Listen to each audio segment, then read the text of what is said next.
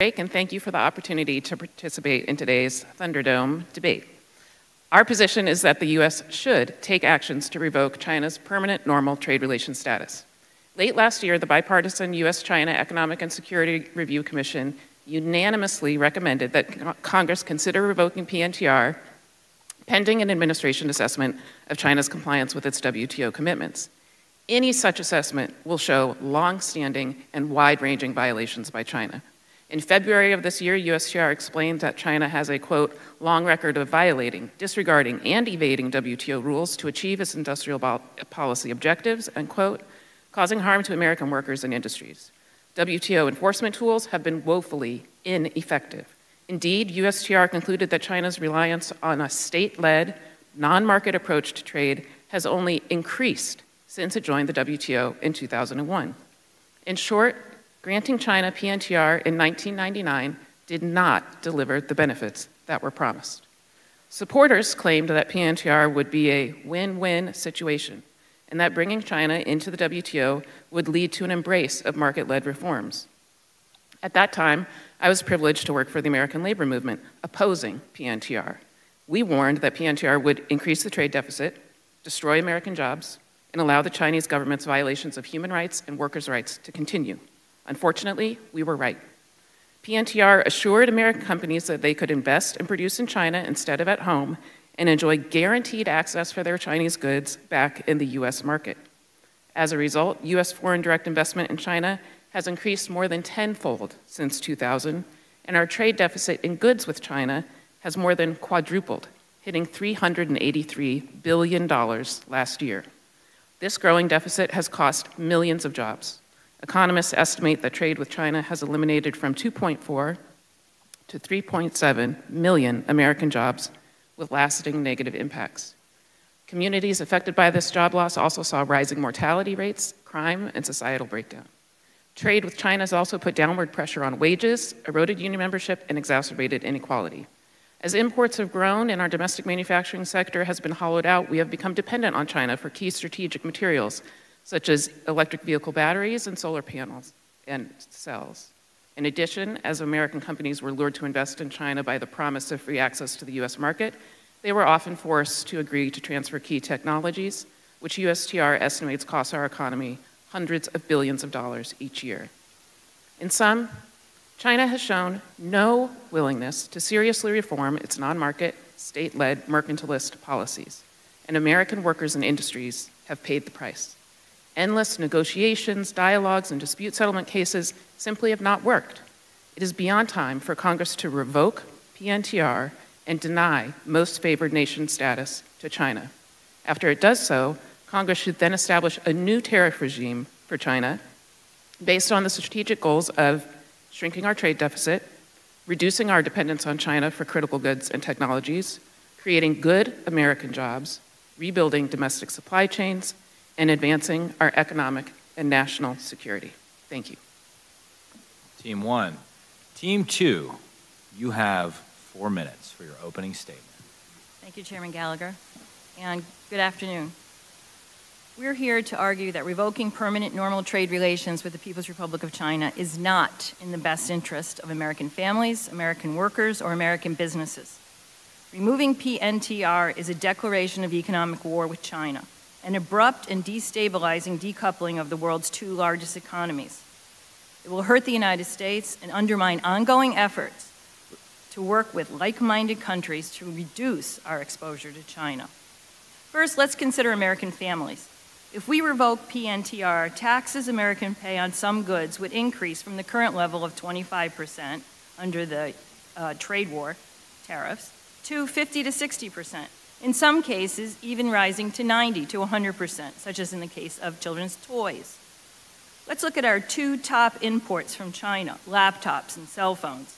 The immediate effect of revoking PNTR would be to place a new 35% tax on these goods even as U.S. companies are already engaged in moving their supply chains to alternative sites. Some will assert the familiar refrain, China will pay the tariffs. We have already seen this movie. The 2018-19 U.S.-China trade war was the pilot, one that showed very clearly uh, for how new, higher taxes will affect American families. Study after study of prices at the U.S. border finds that it is American importers, not Chinese exporters, who bear the burden of these taxes. American families are also American workers, and they need and deserve to earn a living wage. Declining opportunities in manufacturing have a long history, as the number of manufacturing jobs was declining well before we granted China PNTR. Part of this decline is due to rising U.S. manufacturing productivity. While we hear about the hollowing out of the U.S. economy, the value of American manufacturing output, now 2.5 trillion, has grown steadily from 2001. It is indisputable that some American workers have been hurt by imports and outsourcing. But the answer is not to bring back jobs that are now going to Vietnam and Thailand. These activities cannot pay a living wage. The issue at debate is not whether some workers have been hurt by import competition. The issue is whether revoking PNTR will help them. We, robust, we, robustly assert that revoking PNTR will not help the American worker. The impact of the 2018 trade war shows why more tariffs on Chinese imports will not help American workers. Revocation will hurt U.S. manufacturers. U.S. manufacturers use Chinese intermediate goods to remain competitive, both domestically and in foreign markets. In fact, it's medium sized uh, manufacturers that rely most on these inputs. High tariffs on Chinese intermediate goods will put thousands of manufacturing jobs at risk.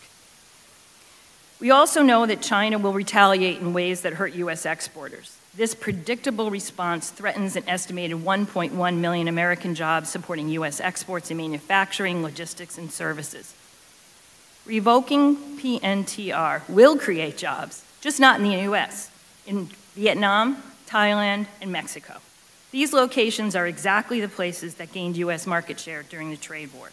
These new exporters are deeply tied to China, from whom they receive investment in the components for products that are then shipped to the U.S. Revoking PNTR will not make supply chains shorter, more transparent, or more secure. They will make them longer, more opaque, and less secure. Thank you. Thank you to Team 2 and Team 1, both for staying within the time limit. The gauntlet has been thrown down. The Thunderdome has truly begun. Team 1, you now have three minutes for your rebuttal. Thank you, Chairman. Um, first, on the issue of the fact that revoking PNTR would allegedly be too abrupt or would create um, a war is, I think, overblown. I think the proposal that I suggested is that Congress consider an alternative tariff structure for China. So, not just kick over China to what's called column two of the non most favored nation, which is what was done with Russia and Belarus, but take a more considered approach look at the intermediate inputs, look at the impacts in different areas of the economy, and adjust the tariffs on China to specifically address the threat that China uh, poses to American workers, to our economy, and to our national security. And certainly treating China like every other country in the world with most favored nation status does not achieve those goals of having a strategic, targeted, comprehensive approach to our tariff policy uh, with regard to China. In terms of the costs that will be imposed, yes, the imports will bear additional costs, and that is the purpose, that is the goal of the policy. I agree that any honest debater would say that it's the importers that bear the cost. Sometimes the Chinese producers will absorb some of it, but that's the, that's the purpose. It's to change incentives in the market. It's to change incentives to not, no longer source from China, to source from our friends and allies, or to source domestically. And so they have to have that bite to uh, have their intended effect. In terms of the US manufacturing sector, yes, it has been on decline for a while, but the studies by economists show that that was greatly accelerated by China's accession to the WTO and the resulting increase in our trade deficit. And in terms of retaliation, I think that's something that we've seen in the 301 context, where the Chinese retaliation has much less impact than our measures, and that's because our trading relationship is so lopsided. For every dollar of exports we have to China, we import $3.50 worth of imports. They are much more dependent on our market than we are on theirs. Let's use that leverage to meet our economic and national security goals. Our, we have, of course, higher GDP. We also have higher consumption as a percentage of GDP. That's because China is so dependent on this hugely imbalanced trade surplus that's disrupting economies all over the world, but especially our economy is disproportionately negatively impacted by China's continued trade surpluses. And China could do a lot of things to address this. It could stop subsidizing its companies. It could cut down on economic overcapacity in its state-owned enterprises. It could allow its workers to organize, join unions, and bargain for higher wages that would allow them to increase consumption. The choice is China's, what it wants to do to try to reach a more balanced relationship. A lot of those reforms would actually help the Chinese economy as well, but they have shown no willingness to do that. And for us to continue to pretend that they are just another WTO member and we are not allowed to consider any other tariff approaches is simply self-defeating. Thank you, Team One. Team Two, you now have three minutes for your rebuttal. Thank you, Mr. Chairman, members of the committee. Uh, it's an honor to be here today. Um, I'm, I'm glad to hear Elizabeth say, and I agree with her, that we should reduce tariffs on intermediate goods imported from China used in made in USA manufacturing. Unfortunately, we don't have a, a 301 exclusion process anymore, despite the requests of many to the Biden administration to institute that.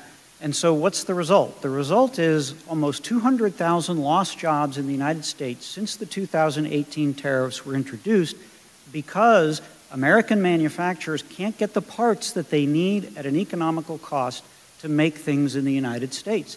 That's the case for my company. We make mainframe computers in one place in the world only, Poughkeepsie, New York.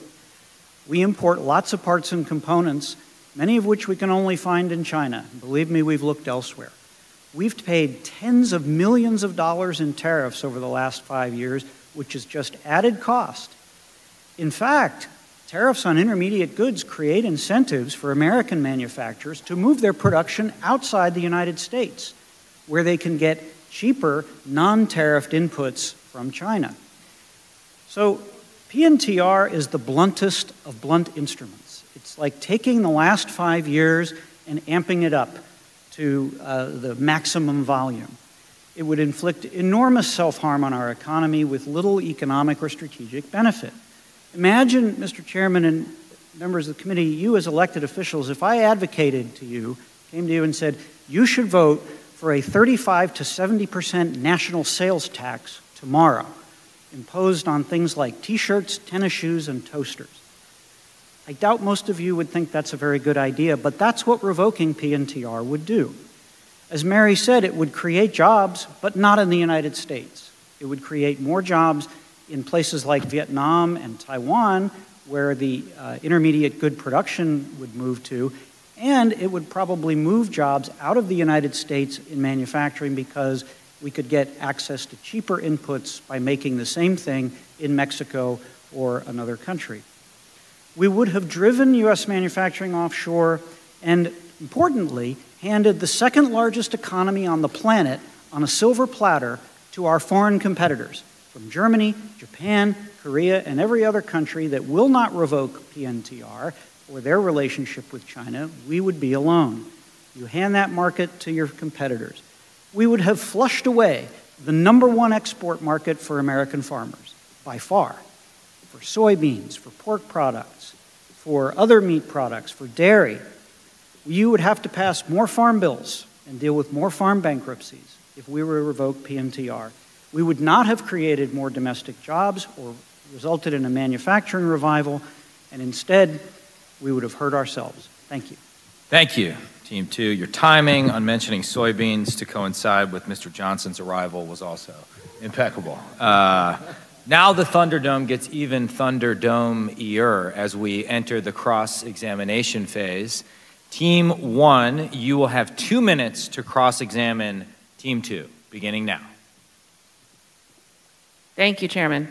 I guess my first question um, to Team two be what can we expect for the next 20 years of having PNTR in place? If China has not complied with WTO rules for the last 20 years, what, how can we expect that to change? What incentive do they have to change their system to an actual market based system that complies with WTO rules? And let's assume that the appellate body was functioning. But it was functioning for most of the time that China was a member, and they consistently, routinely flouted WTO rules. So, what is your proposal? What, how, what, if the promises that were made in 1999 haven't been met, why would we expect that they would be met now?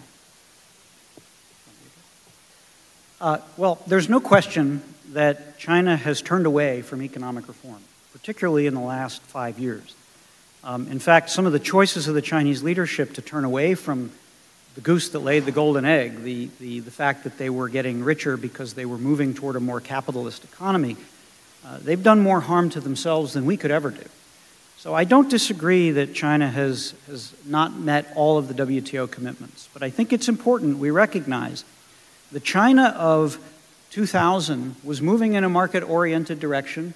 WTO reforms were part of that. Those reforms were largely implemented, and for the first five to eight years, they were mostly followed. Unfortunately, China has overreached and has turned away from economic reform, and our policy needs to adjust as a result. It did adjust, you could argue, with the 301 tariffs, which is a great test case. The question, I think, Elizabeth, really is do we dial it up to maximum volume? Do we revoke PNTR because China has not lived up to every commitment? Uh, I think, given the amount of self harm that that would create for the U.S., that would be too blunt of a reaction. Now, Team Two, you get to cross examine Team One for two minutes. Keep in mind their strategy here, which is they can also try and filibuster during the two minutes. It's a very short period of time. We're not senators, but we are familiar with this tactic here in the House. But your two minutes begins now. So I, I, I, would ask a question. We've had a bit of a pilot project or a test case of what raising tariffs would mean over the last five years. The tariffs imposed by the Trump administration and continued by the Biden administration were supposed to fix the trade deficit, repatriate jobs, open China's market, and not hurt Americans. But the U.S. trade deficit in goods is at an all time high. Uh, we have not created significant new jobs, particularly in the manufacturing sector, as a result of the tariffs. In fact, we've lost 200,000, as I mentioned, according to the Tax Foundation. American companies have paid over $150 billion in tariffs, $1,500 negative impact per consumer, and it has not produced the bonanza of U.S. purchases that were promised. So, why should we think that it makes sense, if the pilot project hasn't worked, to triple down and revoke PNTR? Thank you. Well, the U.S. trade deficit with China did peak in 2018. It did decline after the 301 measures were imposed. The U.S. International Trade Commission did a very detailed study of the impact of the 301 tariffs as well as the Section 232 steel and aluminum tariffs. It found that the 301 tariffs only increased domestic prices for competing products by about 0.2 percent. So it was not runaway inflation that was created. Obviously, the price of the imports themselves increased, but that was the intention. Um, and also, there was, was an increase in domestic production in a number of the sectors that were covered by the 301 tariffs. There were even stronger increases in the um, steel and aluminum sector, where we also saw increased investment, et cetera. So, tariffs can be part of a toolbox of policies to encourage domestic manufacturing. We also need to invest in manufacturing. With this administration, this Congress have done a great job at. So it's one piece of the puzzle, and I do not think they have been a failure. I think that they have had positive impacts, and we can refine that by giving Congress the power to shape tariff policy. Time, okay, time has run out. I'm going to deviate slightly from the script and make my staff very nervous. I'm willing to entertain up to two questions from members, but your answers will be limited to one minute only. And I believe Mr. Auchincloss from the great state of Massachusetts has the first question. Oh, yeah, you need a microphone. Here.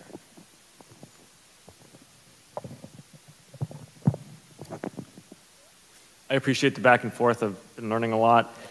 Uh, there seems to be a, a bit of a logjam with trying to find granular enough tools to, to accomplish desired ends. The revocation of PNTR seems too drastic, and yet the status quo feels unsatisfying because clearly things have been uh, have not turned out the way we wanted them to when they acceded to the WTO. Um, would both sides support that one middle path would be the reauthorization of the Generalized System of Preferences, the GSP, which uh, provides for a way to reduce our trade deficit with China by opening up trade to developing nations. Uh, this was an effort that supermajority of this committee has, has supported. And I'd be interested whether, while we're still wrangling with this debate here, reauthorizing GSP, which has been um, out of authorization for three years, would be a good uh, first step. Uh, uh, GSP can be an important tool. I think what's critical is that the rules of origin in the GSP program need to be tightened so that if we are providing trade preferences to Cambodia or other countries, it doesn't just become a conduit for additional imports from China. That doesn't um, benefit us and that doesn't benefit Cambodia or the other developing countries that are meant to be the beneficiaries of uh, GSP. And I think Congress should also look closely at the other conditions of GSP to make sure that they're building sustainable uh, relationships, helping workers, helping the environment in those countries that are benefiting. I think GS, renewing GSP makes lots of sense. It's an important tool for economic development. It's an important foreign policy tool. Um, and I also think that another tool that I wish the administration would consider is having a real uh, strong Indo Pacific trade agenda. Uh, there are many countries in the region Australia, Singapore, Japan, and others who would very much like to have an economic agreement with the United States that does not include China. And I think it was a mistake for us to withdraw from TPP, uh, and I hope we'll reconsider that decision. The second and final member question will come from Mr. Johnson. Uh, we will, after the question is asked in very concise form, then the minute will start. And that will be it. So, Mr. Johnson, question. Playing true to form, Mr. Chairman, I will ask about beans. In any given year, 60% of American soybeans are exported to one country, China. In any year, it exceeds a billion bushel. Whatever shall we do? And I know we think of commodities as perfectly fungible, but you all know that market access is not instantly replicatable. What shall we do with all the soybeans? Thank you, Congressman. Well, the soybeans can be exported to other countries. For example, if China switches to Brazil or another country as its main uh, source of supply, then the other countries that Brazil had been shipping to will be available for the U.S. to ship to. Um, so the, the overall global supply and demand for soybeans doesn't change. The patterns of trade may change if China chooses to retaliate. So, if that was the case, why did the price of uh, American soybeans fall by $2 a bushel during the trade war? I think there was a lot of uncertainty, Congressman, about what um, China's reactions were going to be and how far those reactions could go. I think that the 301 for what I believe has a benefits does have uncertainty. So having a congressional approach to tariff policy puts things on a more permanent footing and, and kind of helps with that market reaction. Okay, I think our opponents are quite willing to accept costs that are borne by other people. Here it's the soybean farmers or it's the people who are going to pay higher prices for their toys or their children's shoes. For what benefit? We still haven't heard what benefit. Is this going to change Chinese policy? Absolutely not. Revoking PNTR just takes us out of the game, takes the US out of the game. We have tools, robust tools that were given to the executive by Congress, such as anti dumping and countervailing duties. Our opponents say those are ineffective. Really? Because what they do is they raise tariffs on particular products, exactly what revoking PNTR would do, except that using the tools that we already have allow us to act surgically and targeted and continue to work closely with our allies who, if we revoke PNTR and declare economic war on China, will say we're going to distance ourselves from those policies. Thank you to Mr. Johnson. Thank you to Team One, Team Two, and apologies to the what I'm informed is the Commonwealth of Massachusetts not the state of Massachusetts. As the Virginian next to me also is nodding in agreement. So apologies for that. We will now move to concluding remarks for the first proposition we're debating. Team one, you have two minutes to conclude. Thank you, Mr. Chairman. First of all, I hope that I've been clear that I'm not advocating for a blunt approach in which China is just moved to column two as Russia, Cuba, other countries.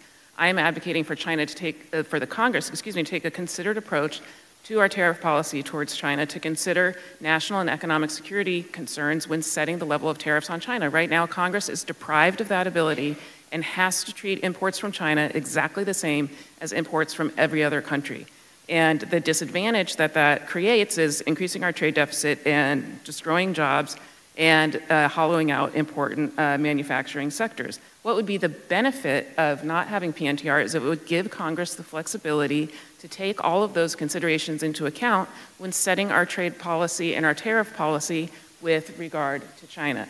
That could make change incentives in the market about whether to source from China, source from other countries, or hopefully source from the United States. That's what tariffs are supposed to do, is they're supposed to signal to the market that certain uh, sourcing practices are preferable to others. Um, in terms of AD/CVD, no one loves anti-dumping countervailing duties more than I do, but those cases take years to put together, to bring, and the thresholds are so high um, that it cannot address the kind of systemic disadvantage that we're facing in our competition with China. Those tools need to be strengthened. Um, there are very good proposals in Congress to do that, but they alone cannot address the enormity of the problem that we are facing with China. Um, the other point that I would make is that what we have done is created a permanent incentive mechanism for U.S. firms to shift investment out of the United States to China. That needs to change. It can be done through investment measures, but tariff policy also needs to be a piece of that puzzle. For all of these reasons, Congress should consider revoking the NTR for China. Thank you, Team One. Team Two, you have two minutes to conclude. Thank you, Chairman. We're not here to prosecute the last 23 years. No, we're here to consider what is best for the American people today. Revoking PNTR for China reduces American prosperity and strength. American families, workers, and business owners will pay a steep price for this action, yet we will remain tied to China through longer, less transparent, less secure supply chains. Um, as far as opening up new tools for the Congress. The Congress has already given us a system of administered protection. If those tools need to be strengthened, this is the place to take that up. Um, is Congress really going to begin to write line item tariffs for trade with China? We've already set the principles under which the United States of America will levy tariffs. They're good principles. The tools that we have are strong tools. We should use them. Uh, lastly, let me say that we need to continue to work with our allies to create new places for in, in business investment. The belief that U.S. investment in China is there to ship exports back to the United States is simply false. The Bureau of Economic Analysis data shows that 85% of what is produced by U.S. owned multinationals in China is sold to China. American companies are in China to sell to China, and that creates jobs back here at home. So in closing, let me say that I think that the cost will be borne by a few people. It's a regressive tax. It's a tax that will hurt our small and medium sized businesses. We have tools already that we can use surgically and tactically and allow us to continue to work productively with our allies in meeting the China challenge. Thank you. Thank you, Team Two. That concludes the first round of our Trade Thunderdome debate. Let's give both teams a round of applause. Now, I'm about to pass it over to the ranking member uh, who will moderate round two. Uh, I just want everyone to know we have a highly scientific process here. We have a team of judges in a, a non-disclosed location analyzing every word, verbal cues, uh, neuro-linguistic programming, and there's a scorecard that will emerge at the end. But I'm just curious, I'm going to ad-lib this. Who in the audience, and this may not be free from endogeneity here, Raise your hand if you think we should revoke PNTR based on what you just heard. Okay. I guess raise your hand if you side with Team 2 that we should not do that.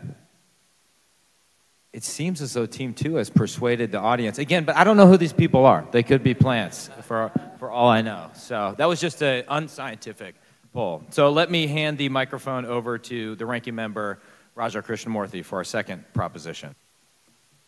Thank you, so, thank you so much. Good afternoon. Um, I'm going to begin with a little bit of an opening statement and then go to the second proposition. Um, you know, today we're having a, a robust debate about trade policy, and we're having it because although Americans want reasonably priced goods and services, they're deeply dissatisfied with the trade imbalance right now in our relationship with China. We had record trade in 2022, but we had nearly a record trade deficit we imported almost $400 billion more than we exported. That's why the American people think that we're losing when it comes to our trading relationship with China. According to a Pew survey from earlier this year, nearly half of Americans think China is the primary winner in our current trade trading relationship, while only 30% say the U.S. is equally benefiting or is the primary winner. My constituents have various questions about our unbalanced trading relationship. First, they ask, How did this happen? They suspect the PRC refuses to play by global trading rules by enacting lax and environmental laws and, engaged in, and, and engaging in forced technology transfer, IP theft, cyber espionage, and economic coercion like we heard in our hearing last week. Second, they ask, how do we fix this trade imbalance? They sense that producing more at home and opening new markets abroad where partners play by the rules should be a key component going forward. Finally, they ask why we allow critical products affecting our economy national security, and healthcare to be almost completely manufactured in China. For example, during the early days of the COVID pandemic, we were almost entirely dependent on China for personal protective equipment such as masks and face shields. When China failed to ship enough PPE, uh, for instance, my wife's hospital ran out of PPE. This is a picture of my wife. She improvised by going to Home Depot and buying this welder's face mask from Home Depot, making her into this samurai doctor looking spectacle. Americans are willing to trade with others, but they don't want to solely rely on other nations for items central to our economy or critical to our health or security. We owe the American people answers to these questions today, and I hope in round two and round three we'll continue to address some of these questions. I just quickly say, uh, Mr. Barr's informed me that that helmet is made in his district. So hey, there you go. Thank Inform, you. inform your wife. I will do that. Um, okay, so here's the second question for our debate. Should the U.S. impose countrywide export controls on sensitive technology exports to the PRC, or should it favor an entity by entity approach? Team two, you get to start this round. Both teams will have four minutes for opening statements three minutes for rebuttal, and two minutes for cross examination. Both teams will then have two minutes to conclude, and we'll try to involve member questions again. So, uh, Team two, please begin.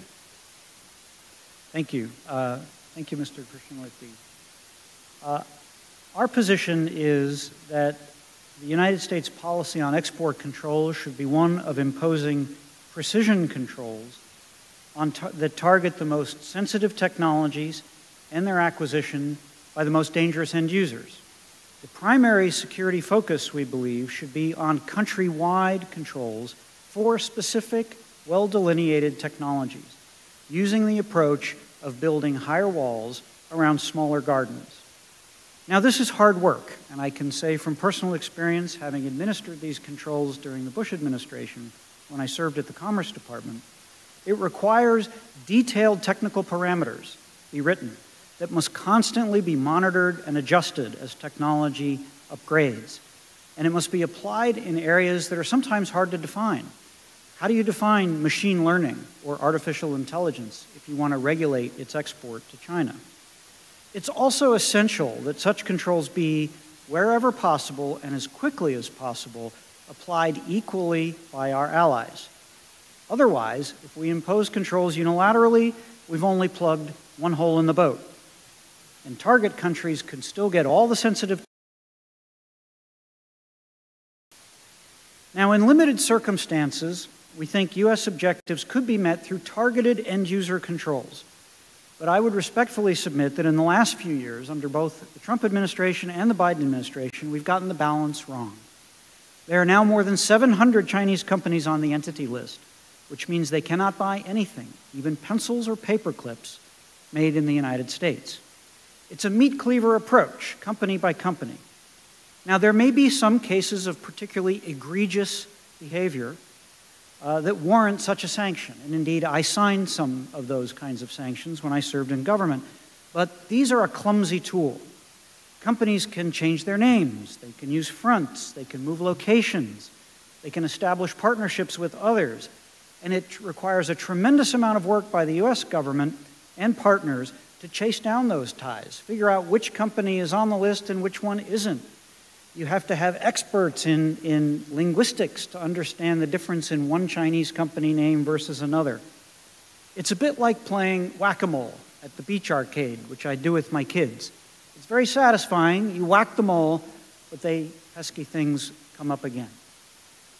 I would argue that putting companies on the entity list gives an impression of doing something, but I think we should put much more emphasis on doing the harder and more strategic work of identifying choke point technologies, controlling them, and getting our allies on board.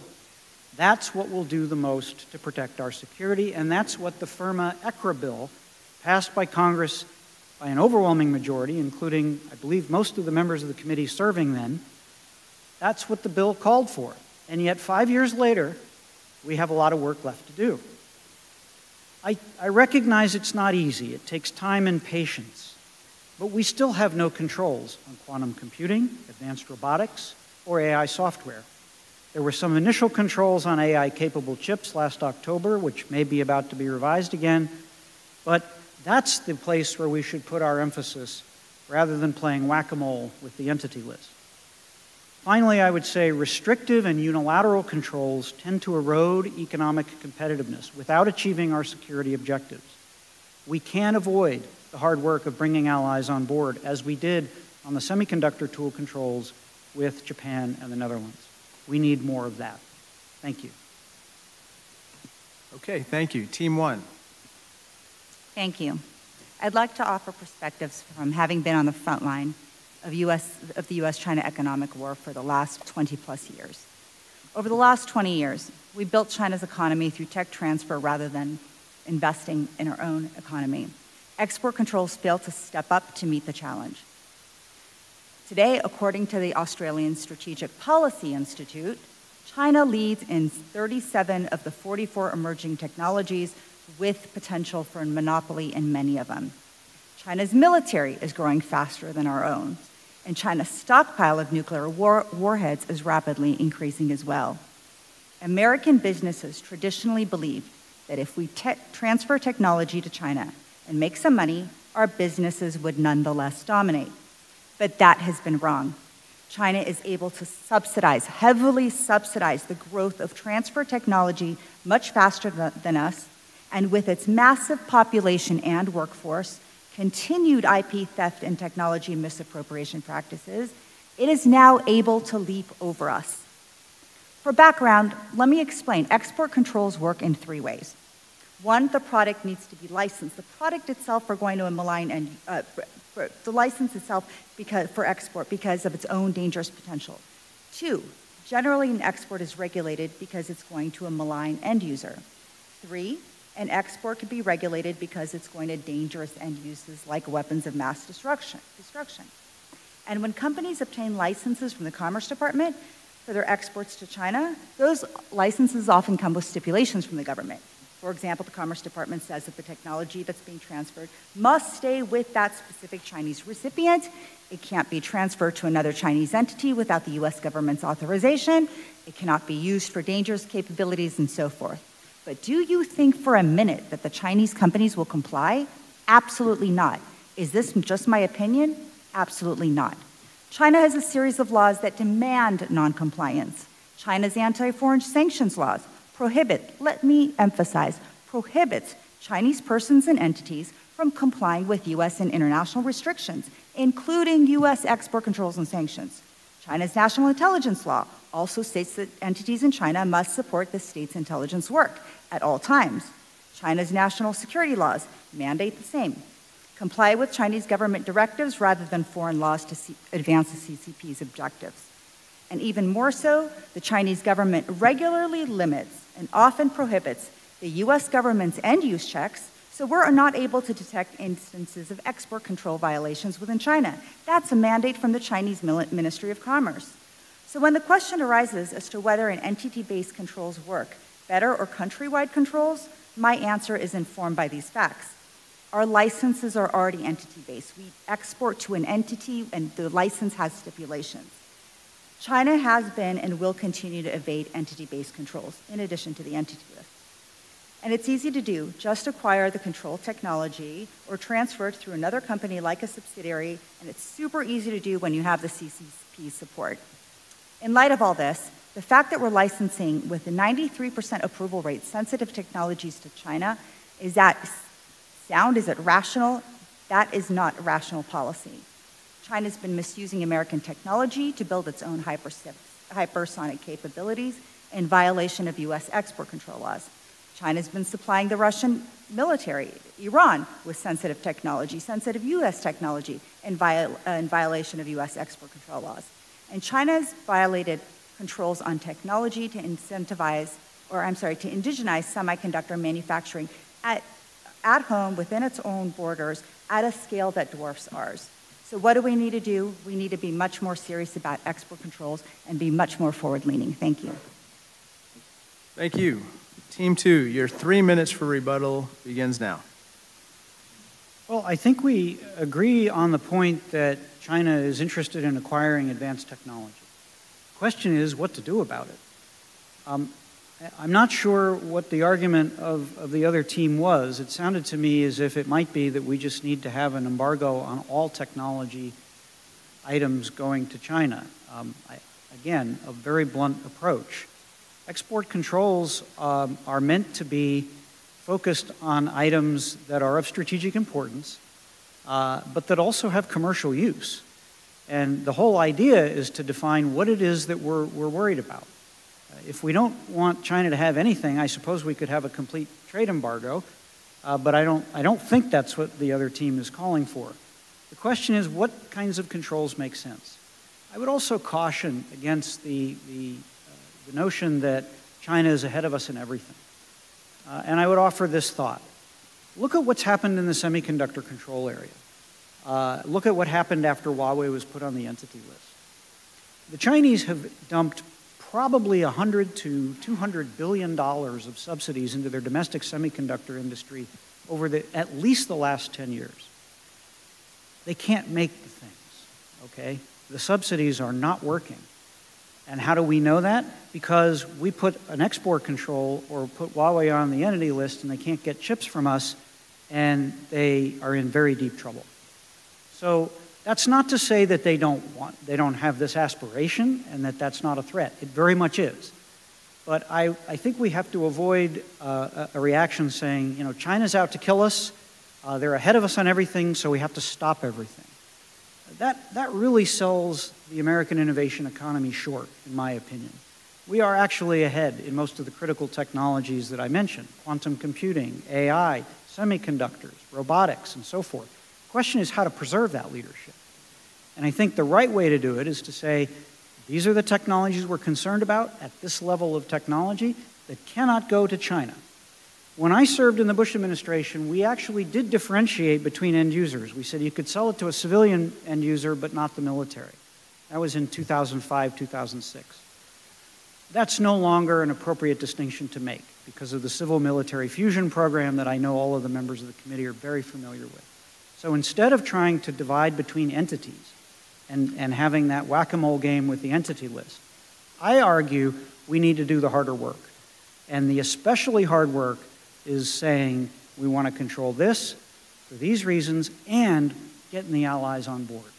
The Biden administration did a good job getting the Dutch and the Japanese on board with the semiconductor tools. It's going to be harder in AI because there are more countries that have that capability. But if we don't do that work, then China gets the, gets the technology and it's not in our interest. Thank you. Thank you. Okay, team one, rebut away.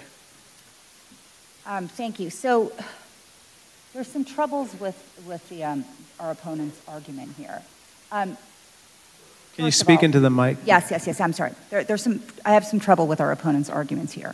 First of all, with a dangerous adversary that is building up a military to wage war already helping our allies, we should not be controlling, we should not be exporting any sensitive technologies at all. Um, China doesn't also fundamentally, right? Our, our, um, the, the opposing team already concedes. China doesn't distinguish between end users. Okay, well, if it doesn't, then how do we advocate? How is our opponent team advocating for precision, precision nuanced controls? to, to restrict the most sensitive technologies to the most dangerous entities. Well, didn't we just say that there's no distinction between end users in China because of the civil mil- military fusion strategy? Don't we already acknowledge that commerce's ability to conduct end use checks is severely constrained by the, by the CCP? Then how do we go in a nuanced way when China is circumventing, has been circumventing all along, and we can't catch it? High walls, narrow fence. I'm sorry, when you're trying to stop an opponent in a race, you put as many hurdles in front of them as possible. You put one hurdle, they are going to overcome it. Example, we've been begging ASML, the Dutch company with the, with the um, technology to make the uh, most leading edge chips, we've been asking them to not export technology to China. Despite that, China's at seven nanometers. People are going to say, oh, you know, well, China's throughput isn't good. Chinese 30% throughput is just fine for the Chinese because they're just going to throw money at the problem. Multilateral controls versus unilateral controls, yes, we absolutely have to ultimately get to uh, multilateral, but that doesn't mean we wait until all of our allies uh, walk in lockstep with us at the exact same time. The United States needs to move first to demonstrate to our allies that this can be done, and also, importantly, to provide to them top cover. They will not move first until the United States move first. So it's just a delaying tactic that I'm completely over, right? We can't move multilaterally all the time first. We can approach our allies, and if they say no, we've got to show leadership, we've got to move ahead. Um, when it comes to national security, there is no balance between economic interests and national security interests. We need to move first and foremost to protect our national security interests.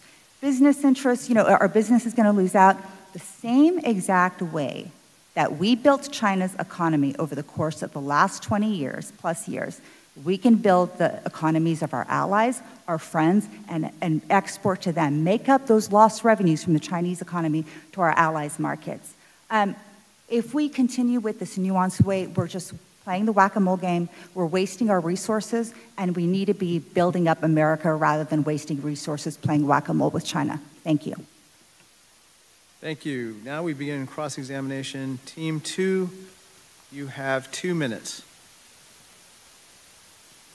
Thank you. Well, we, we've heard some controversial claims with little evidence. Um, I think our colleagues overstate the role that U.S. firms have had in building Chinese science and technology. I think American companies and the American government have learned a lesson, and they're smarter than that. I also think that when we view this as strictly zero sum, we lose any ability to understand what nuanced and precision focused policy might be. And yet, that's exactly what we are advocating for to prioritize technologies, focus on targeted entities, and then really provide the resources for us to make these controls work. Um, our the opposing team argues that national security trumps economic security. I would argue that economic security is essential for national security. And when we look at the, our tech companies, we see that they, some companies in the chip design sphere are plowing 40% of their revenue back into, their profits back into R&D. In other words, we need healthy companies to continue to support U.S. military. We have the world's best technology because we have the best technology companies. And so it's very important for us to consider the economic health of our companies along with other considerations in national security. If we don't pursue, uh, if we pursue policies that are restrictive and overly broad, the world will just build around US companies. US companies or inventors will move offshore and we'll lose the ability to maintain our cutting edge technology that supports and undergirds our national security. Thank you. I'm going to let Rob Wittman ask a question now. I'll give him uh, two minutes, I guess. Go ahead. And you direct, just tell, who, tell us who you're directing it to. Thank you, Raj. I'd like to go to the Honorable Padilla. Um, in your perspective on tactics, you say that countrywide export controls need to be precision controls when it relates to sensitive technology exports. How do you accomplish this when China has a stunning lead in 37 of 44 technologies, both critical and emerging technologies, in defense, space, energy, and biotechnology. How does precision counter a tactic of economic carpet bombing in these critical elements of our economy? Well, Congressman, when I say precision, precision doesn't mean not tough. Precision means you don't try to control things that are generally available on the global market, that are commodities that the Chinese can buy anywhere. What it means is you impose tough controls on the things that really do matter. Let's take semiconductors, for example. Um, semiconductor industry moves very fast. The product life cycle is generally 18 months. We should be controlling and have been historically controlling the latest cutting edge semiconductors and two or three generations behind that we've been saying cannot go to China. And that's been US policy really for the last 20 years. Uh, that to me makes more sense than saying to uh, Intel, you can't sell a chip that is 10 generations behind state of the art to go into an Apple iPhone that's made in Shenzhen and then sold all over the world. Uh, if we tried to do that, if we tried to control things that are broadly available, I don't think allies would follow, and I agree with Mary that production would tend to move outside the United States. Great. Now, Richie Torres, please ask a question, and if you could direct it at Team One, you have two minutes. For the Honorable Nikakhtar, hopefully I'm pronouncing it incorrectly. I mean, you've made a persuasive argument that export controls are imperfect or precision export controls are imperfect, but, but I feel like your burden is not to show that it's imperfect, but that it's better than the alternative, which is either no export controls or overbroad export controls. And do you, do you dispute that the export controls that were put in place on October 7th of 2022 have not been effective at slowing down China with respect to the AI competition. Um, and, and, as a related matter, if, if, we were to put in place overbroad export controls, and one of our leading companies like NVIDIA were to suffer a substantial loss of revenues, maybe that would stifle uh, Chinese competitiveness, but it would also undercut our competitiveness as well. So those are my two questions. Thank you. Um, so with respect to the October 7th controls, look, they were a great first move. We needed to do something like that. Um, I, and I loved Jake Sullivan's speech where he sort of reiterated what we were doing last administration, which is, you know, move unilaterally and then have allies follow. But some of the problems with the rules, the rules aren't perfect, and we got to keep pushing to make them better if we're going to make a difference in this country. The rules right now, the Chinese companies can reincorporate outside China and be exempt from the, from the most strictest of the rules, the presumption of denial. All of allowing foreign produced items, right, to only just go to those with, with a, a, presumption of denial to those enti, uh, 28 entity listed companies who are just going to turn around and give it to all the other entity listed companies and everybody else in China, that's another problem. The fact that we're limiting the controls to the lowest uh, nodes allows China to build overcapacity in the higher nodes and displaces from R&D. And so, in short, there's, there's more things that we need to be doing there. Thank you. Okay, now let's, we're going to the conclusion. Team two, you have two minutes for your concluding remarks. So I would conclude by saying it, it appears to me that, that the opposing team is suggesting something close to a technology embargo on China. Just as they advocated for the cutting off of PNTR, a very blunt instrument that would hurt America, a technology embargo would also hurt America. As with PNTR, it's unlikely that any allies would follow suit. The United States would be acting alone, trying futilely to control technologies that are long ago decontrolled and widely available on the global market. And by trying to capture too much, the risk is we won't pay attention to stopping what really is important. That's what higher walls around smaller gardens means. And that has been the bipartisan approach to export control policy since the end of the Second World War. There are always disagreements between industry and the government, between Congress and the administration about where to draw those lines, how, how far to turn the dial. Uh, do we need to update the October 7th controls to make them more stringent, as, as it appears the administration is about to do? That's a healthy debate. The administration has to take account of where technology stands and what strategic objective we're trying to accomplish.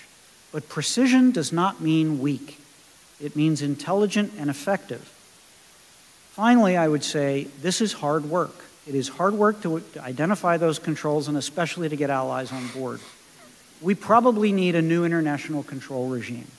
The Wassenaar Arrangement, which some of you may have heard of, 30 years old, has Russia as a member and, and with veto power. It is no longer effective as a way to agree internationally on what should be controlled for export. If we really are serious about this, I would urge the administration to launch a new international export control regime with our NATO and major non NATO allies and do the hard work to keep our technological edge. Thank you. Thank you. Team one. Okay, let me just start with the fact that China's military advancements in hypersonic weapons was facilitated by the transfer of U.S. technology. One company's short term profits years ago now threatens global security. Our export control system failed. We need to fix it. Uh, so, yes, absolutely. I am for a position of embargoes on sensitive critical technologies to all of China because of the CivMil fusion and all of the ways this China circumvents. Um, if we transfer it to an entity, it will fall into the wrong hands. Um, precision, we keep using the word precision. What does that mean when you're looking at within China? When uh, circumvention is abound? When you, for crying out loud, have the uh, anti foreign sanctions law that demand that the CCP, that the Chinese companies evade US export controls? So we've got to really not use fancy words and be really practical in, term, in what we're talking about. Um, we are talking about, you know, uh, our semiconductor export controls to China. We, we talked about it a second ago. They're still not working because we've given exemptions to companies. And Undersecretary Estevez just uh, a few weeks ago or a month ago basically just stated that he's going to give those exceptions to those companies for one more year. So really, do we have the controls? I would probably say no, right, not, not right now. Um, and then companies need R&D money? Absolutely. So let's say you send some control technology to China, and China just gives you a little bit of money. That money that you have pales, pales in comparison to the money that the CCP is going to give that company to grow that technology, the workforce, everything that's going to throw at it. So that in comparison, the few million dollars the US gave, uh, got pales in comparison to how the CCP has been able to grow that technology and displace the, uh, the Chinese entity. Look, I am not for, I, I'm a realist. And when I look at the Chinese economy and I know how it operates, we cannot trust the transfer of anything sensitive to it, not when it's an adversary. Thank you. Thank you. That concludes round two. Thank you to the ranking member. We are now going to move to our third and final question in what has been a very spirited debate thus far, not since Lincoln versus Douglas or Nixon v. Kennedy or Musk versus Zuckerberg has a debate this robust rocked the halls of Congress and the social media landscape. So we hope to continue that spirit leading into the third and final round where we'll be debating the question venture capital, private equity, and other direct investments, which account for around 15% of all U.S. capital flowing into China. 15% of all U.S. capital flowing to China.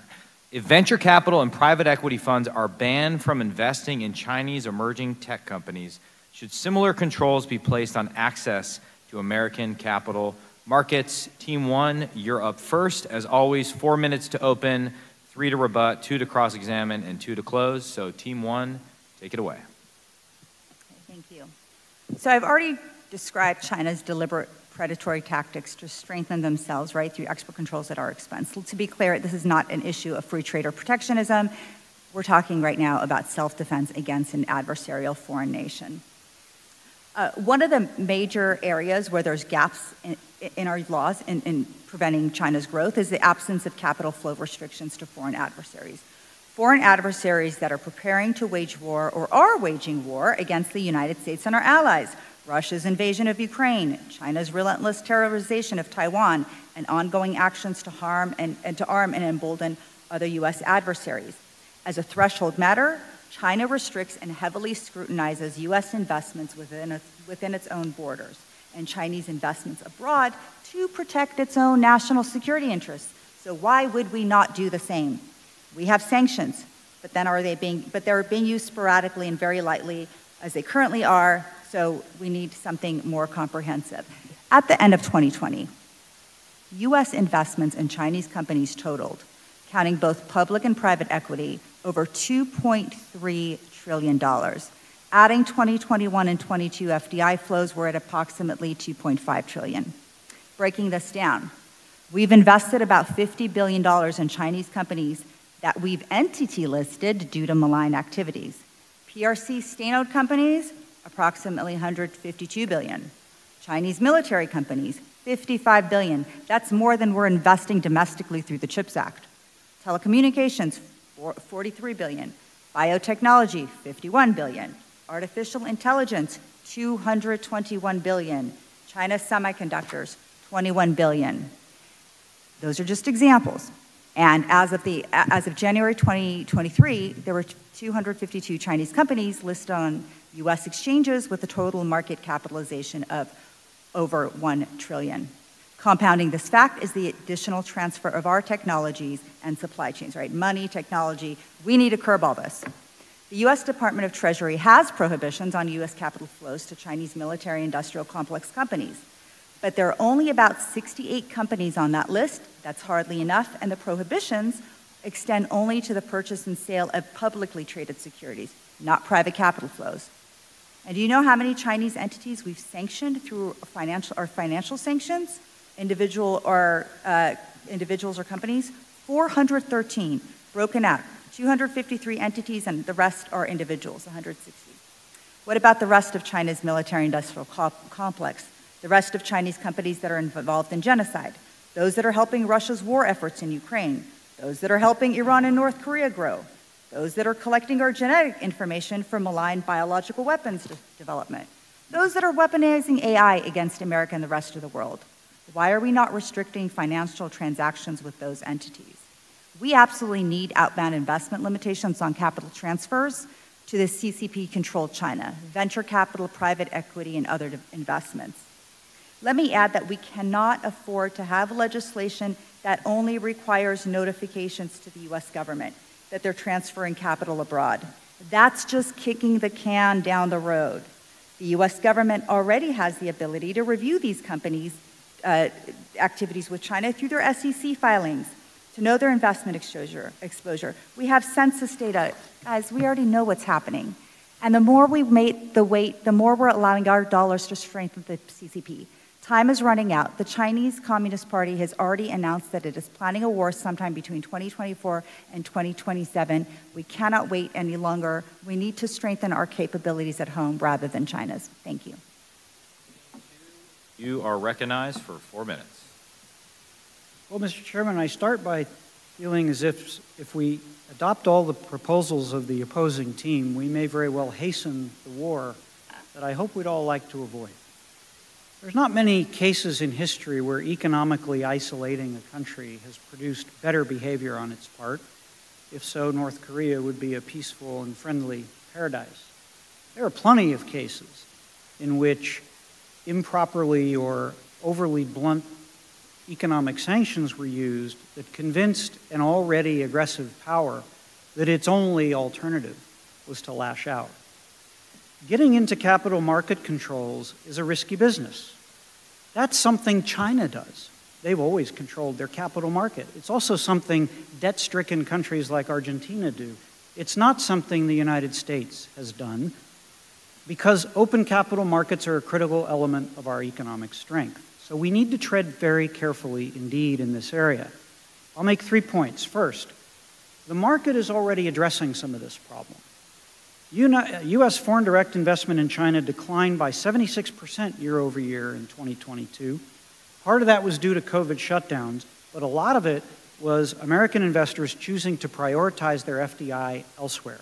Why? Because of China's turn away from economic reform. They are killing their own golden goose. An American Chamber of Commerce in China survey found that for the first time in 25 years last year, a majority of American companies said China is no longer a top investment priority. 65% of members said they don't think China is open to their business anymore. Almost half of them said they are not planning any new investments, and another 10% said they're planning to cut investment. So the market is doing some of this for us already because of the decisions of the Chinese leadership to turn away from economic reform. Second, the question is would it work? As Congressman McHenry pointed out in a recent letter to Secretary Yellen, China has $3 trillion in foreign reserves and a $400 billion current account surplus. Do we realistically think that putting a control on U.S. outbound investment is going to prevent money from going to the companies that, that Nazak talked about? They can just move the money from someplace else. And that's the fundamental point. If you're controlling technology or goods, you can control them because they exist. Money is fungible. Once it's inside China, how do you control where it goes?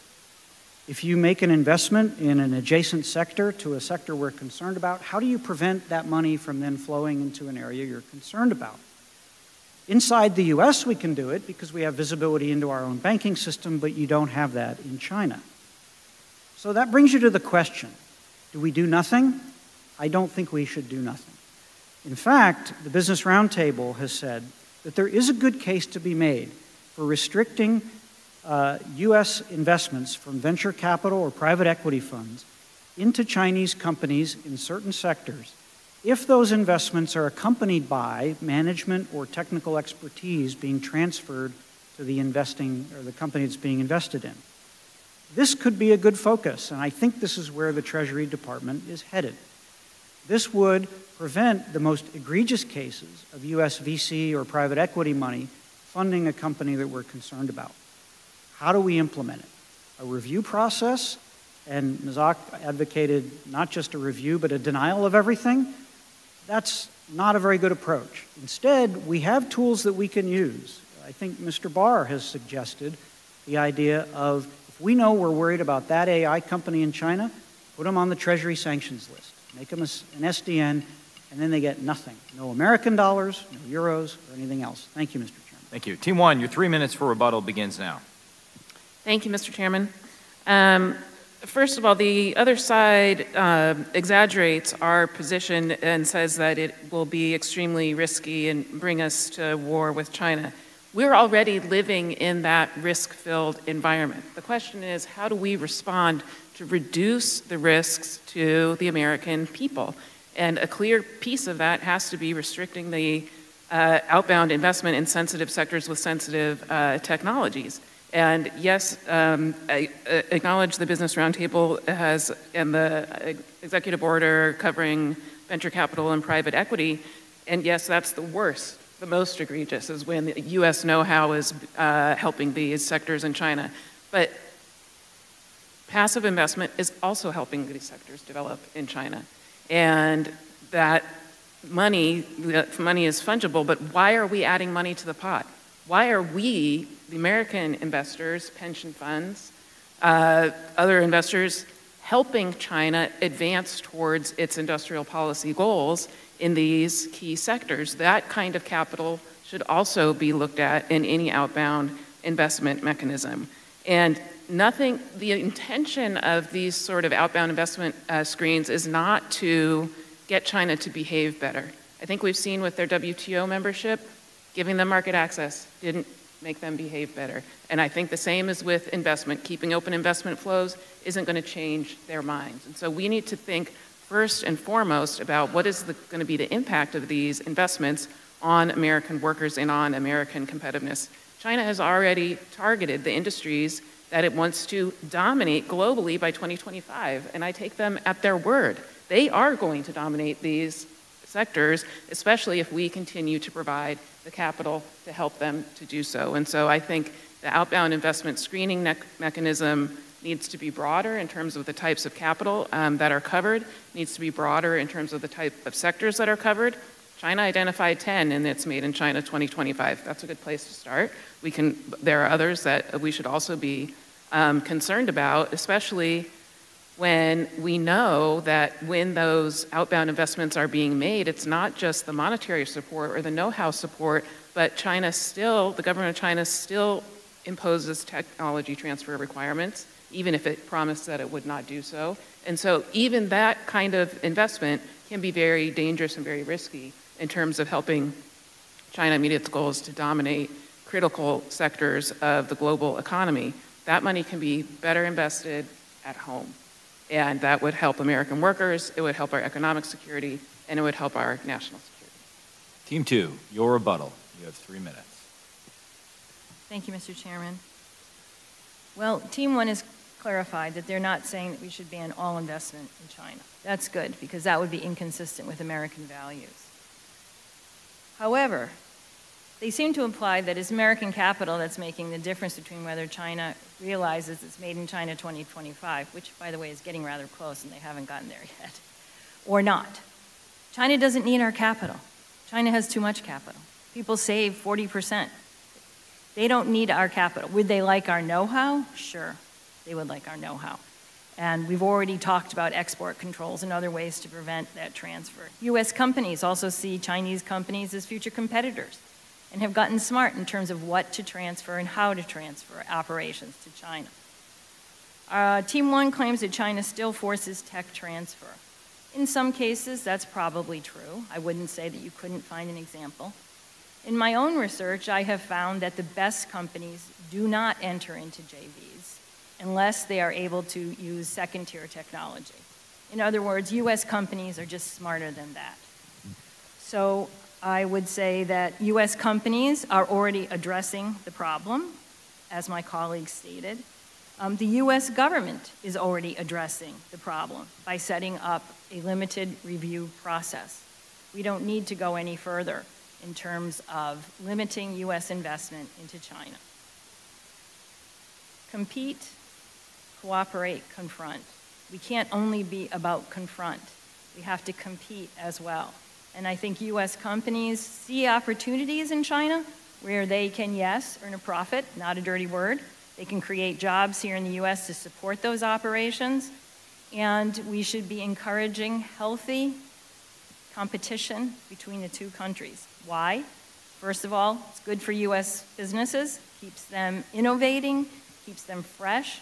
Secondly, it allows us to transfer those profits into future R&D and keep the U.S. technological edge. Clearly, there are some areas where we're concerned about. We've already covered those, I think, at great length. And adding more sort of sledgehammer type investment restrictions simply is just not helpful. Thank you. Thank you. Because we're running low on time, I'm going to move to a member question. Uh, Mr. Barr. Uh, Mr. Padilla, I like your um, argument that um, capital market controls is typically something that we would see from China, not the United States, and also that uh, capital flows are fungible. I, I sympathize with that. Uh, but uh, Dr. Lovely, Americans still hold $1.2 trillion in Chinese debt and equity securities. Um, so that's a, they need, they need that money, I think. So, what is the better way to restrict investment in Chinese entities that threaten our national security? Is it uh, the precision, as you say, uh, Mr. Padilla, of OFAC, SDN full blocking sanctions, high walls on fewer gardens? Or is it a multi agency uh, reverse CFIUS or National Critical Capabilities Defense Act type uh, blunt instrument and why? One minute. Uh, I think it's. Uh, I think it's in most cases the former, Mr. Barr. And the reason I say that is because I participated in CFIUS when I was in government. Regulators often like the approach of saying, "Bring it all in for a review. We'll have a look see, and if we see something we don't like, we'll let you know." It's sort of the Potter Stewart approach to regulation. We'll know it when we see it, right? They won't tell you what's prescribed. They'll just say, bring it all in for review. We'll, we'll let you know.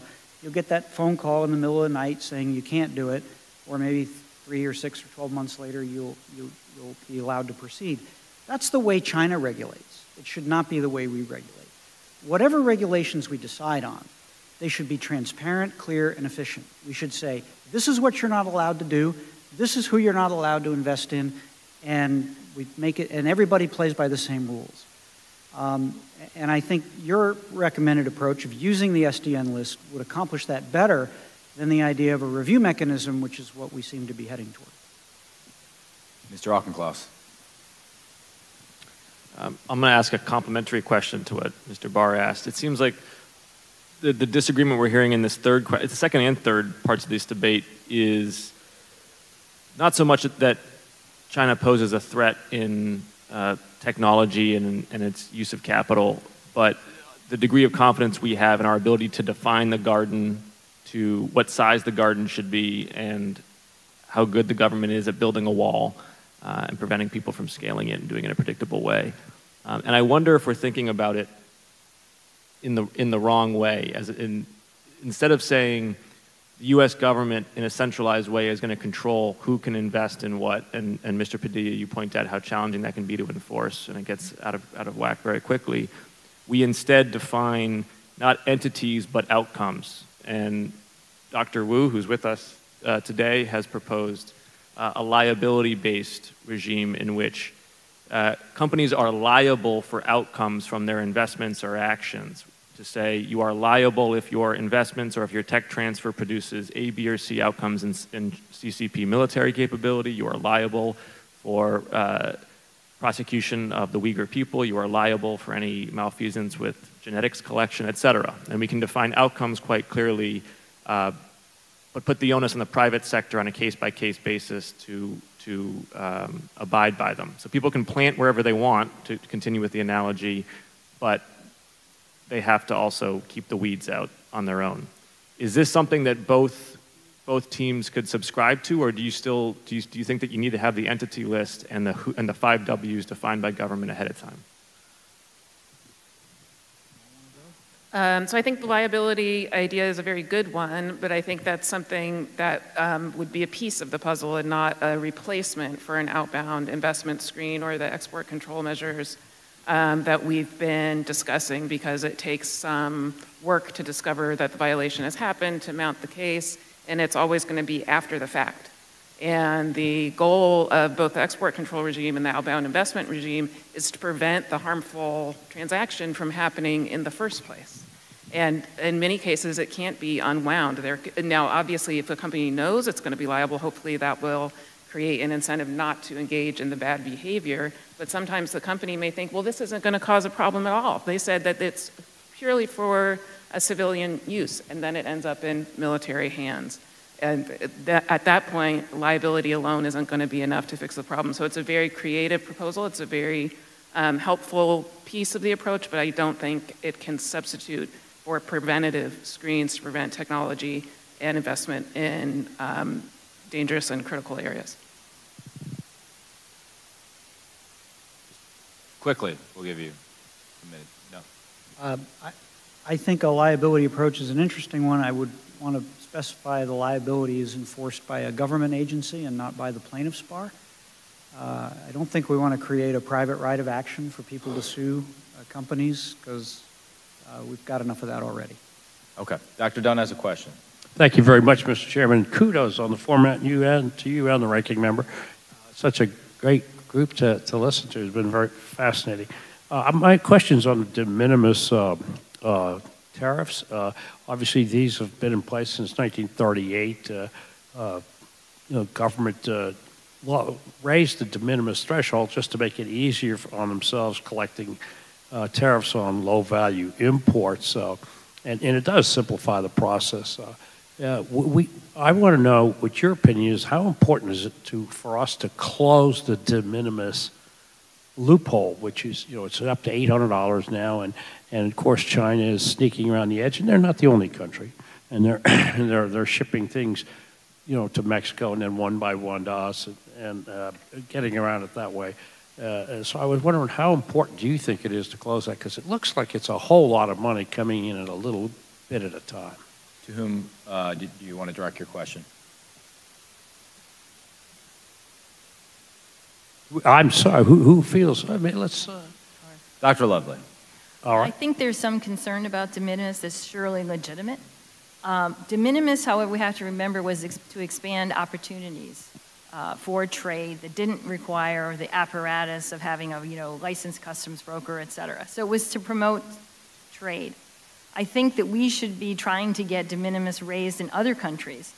We're here in the United States trying to expand access to the internet and to e-commerce for rural locations, for small entrepreneurs, small crafters, et cetera, who could use this mechanism to uh, earn income. And we see it through it entirely through a national security lens instead of through an economic development lens. I think that we have methods for screening these packages. We, as you have stated, we already have rules. There is some circumvention of the rules for sure. But we have failed, I think, in expanding de minimis in other places that would allow our small and family owned businesses to take advantage of e commerce and grow their own incomes. Mr. Torres. Um, my question. May I, may I briefly respond that I, I would that I would greatly support closing the de minimis loophole. It's a huge loophole. It's been especially exploited by China, by companies that set up their entire corporate structure to bring in small packages that are under the threshold, that escape duties, that escape regular customs inspections, that may not be complying with health and safety requirements, may be violating intellectual property. And this may have been a common sense loophole as it was conceived, but it's been completely turned on its head. We've had the exception gobbling up the rule. And so I'm afraid that with respect to China, lowering it back to $200 wouldn't do the trick. I think for non market economies that have exploited the loophole, they should not be allowed to use it. Our level is already way higher than any of our trading partners, but China in particular, given their behavior exploiting this loophole, should not be allowed to use it at all. Thank you, Ms. Drake. Mr. Torres.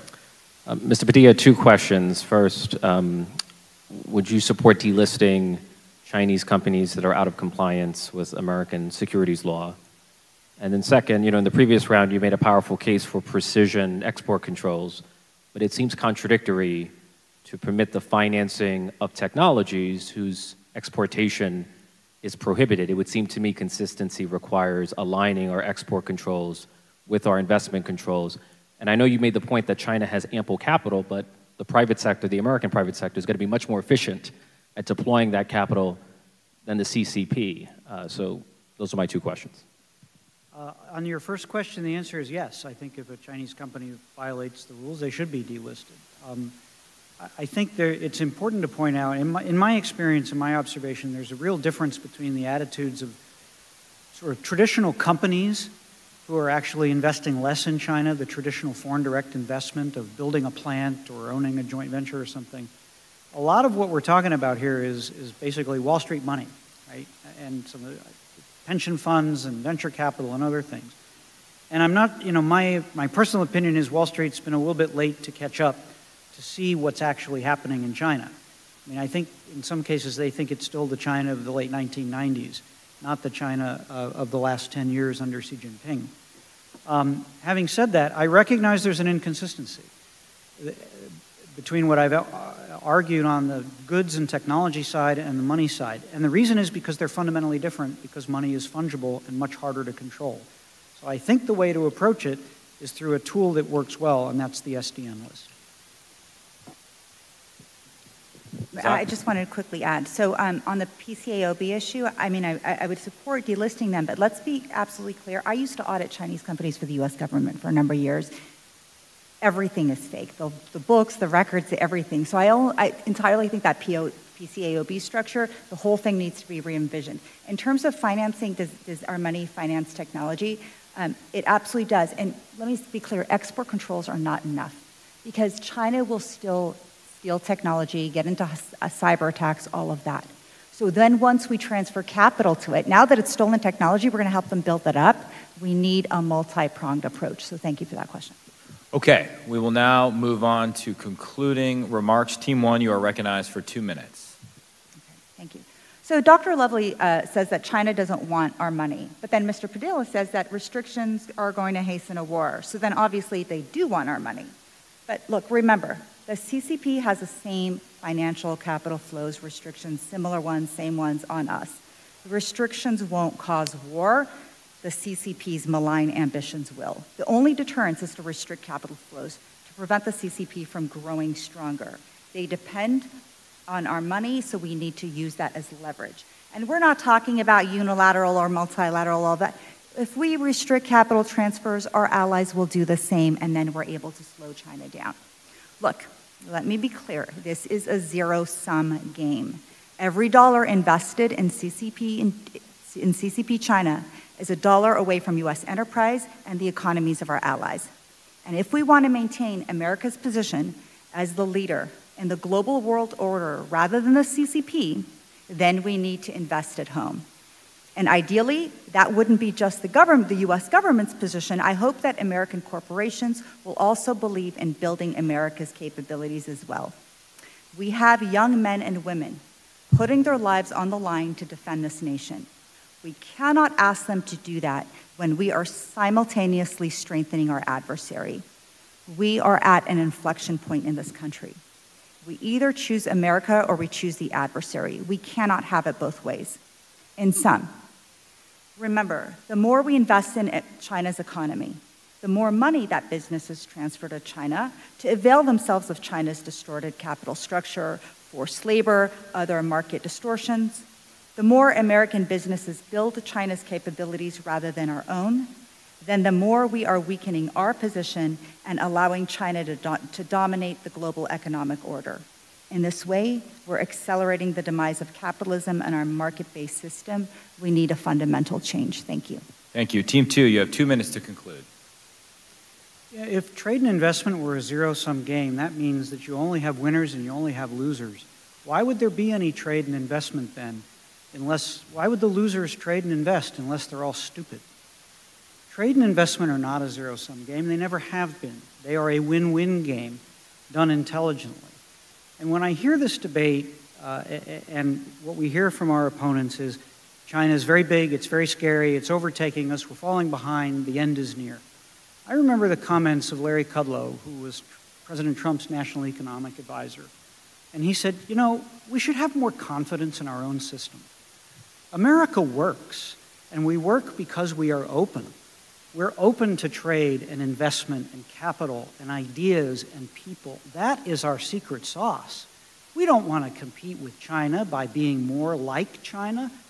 The record of state capitalism, particularly the kind, it's not even state capitalism anymore, the record of turning away from economic reform, such as we've seen in China the last 10 years, is a record of failure everywhere it's been tried. So I think we should respond to China not by being afraid of China. I think we should respond intelligently, intelligently and effectively to the fact that the China of today is not the China of 20 years ago. We need to dial up our export controls. We need intelligent foreign investment restrictions. We may need even to make better use of our trade tools, as Dr. Lovely explained. We should not abandon the relationship to do so is to run up the white flag as America. And I don't think that's what any of us want to do. Thank you. Thank you. Uh, thank you to both Team One and Team Two. Thank you for all of our to all of our debaters for a very uh, spirited exchange, uh, and uh, I found this to be fascinating. Um, in the original Mad Max Beyond Thunderdome, the saying was Two men enter, one man leaves. But in this case, in this Thunderdome, we have all left smarter than uh, we were when we entered this Thunderdome. So thank you, and please join me in thanking our participants for an incredible debate.